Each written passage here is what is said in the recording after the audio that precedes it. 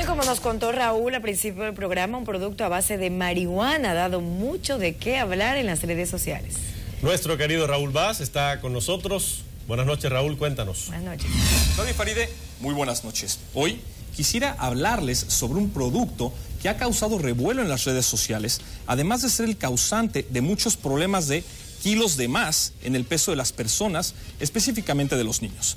Pues resulta que en California un dispensario de marihuana medicinal llamado Organicare ha inventado un producto llamado Nutella, que es básicamente Nutella combinada con marihuana.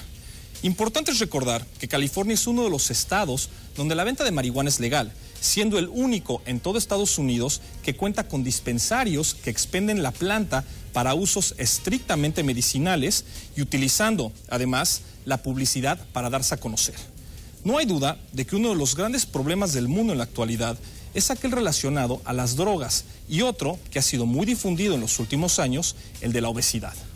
Este nuevo producto, por llamarlo de una forma, junta ambos problemas y muchos lo han denominado como la combinación perfecta, dado que la marihuana es reconocida por crear antojos y la Nutella por ser uno de los antojos más internacionales.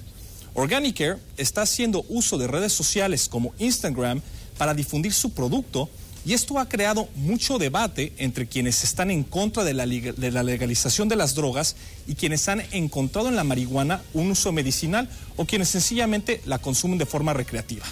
Sea quien sea que tenga la razón, queda claro que la promoción de un producto de esta índole en las redes sociales a las que menores de edad tienen acceso es una gran irresponsabilidad.